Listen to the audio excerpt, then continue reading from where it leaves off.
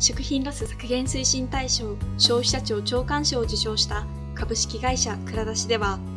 阪神淡路大震災を経験された代表が救助活動の経験を通し、一人の思い、一人の力では行き届かない支援に対して必ず世の中に大きな影響を与えられるようなサービスを作ると決心。日本の食品ロス問題に着目し、社会貢献と食品ロス削減を同時に実現するシステム、蔵出しを開発しました。蔵出しでは、賞味期限の迫った商品や季節商品など、様々な理由で販売の機会を失った商品をオンラインで消費者ニーズとマッチングして食品ロスを削減。さらに、売上の一部が社会貢献団体へ寄付されることにより、利用者が手軽に社会貢献できる仕組みになっています。これまでに累計商品5万品、利用者数15万人、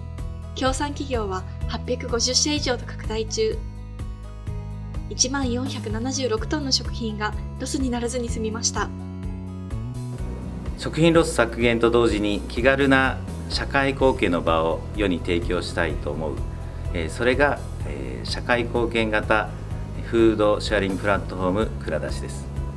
社会性環境性経済性に優れた活動だからこそ持続可能な方向に行くというふうに思っていて、えー、社会課題をビジネスの力でよりよく切り開くっていうのを、まあ、会社のミッションとしております。楽しく元気よく、え、社会課題をみんなで取り組みというのが非常に重要かなというふうに思っている。そういうような思いっていうのが、まあ、サービスに込められたことです。今後の展望に関しましてはまさに2030年度に食品ロスを半減さすという。この大きな課題に真摯にこう取り組んでいきたいと思います。そのためにはそのクラダシ単体で頑張るというよりは産官学金労言士のあらゆる人とのこう連携が必要だと思ってます。より多くの方々と関わることでより多くの食品ロスが削減できると思ってます。皆さん一緒に取り組んでいきましょう。